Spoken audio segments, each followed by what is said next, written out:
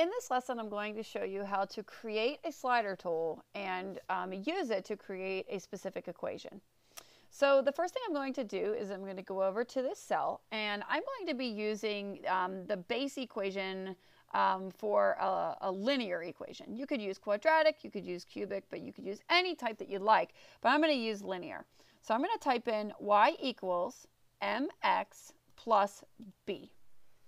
And if you type in this information, you'll see these little um, things at the bottom that say add slider. I'm going to go ahead and add all, which is going to add a slider for the slope and the y-intercept.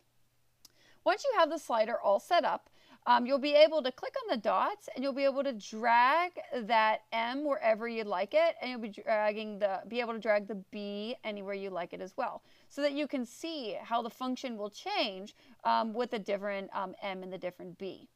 So let's say that this is where you like the line and you want to construct an equation using that slope and that y-intercept. Well, I'm going to go ahead and create a new cell and I'm just going to go ahead and type in y equals I'm going to go ahead and use that slope of 3.4 x minus 1.8. And you basically took the information from the slider and you have an equation. So at this point, what you can do is you can actually get rid of the slider if you're finished working with it. So there's my slider and there's my equation.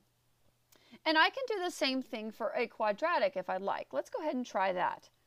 I'm going to go ahead by um, first typing in the standard form of a quadratic equation. So I have ax squared, I need to use my keyboard, plus bx plus c. So here's my quadratic, and I'm going to go ahead and press all.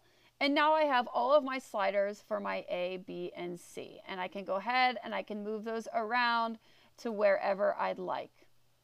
And if I want um, this particular equation here, I can go ahead and create a new cell and type that in. So um, let me get rid of my keyboard. y equals 0 0.8 x squared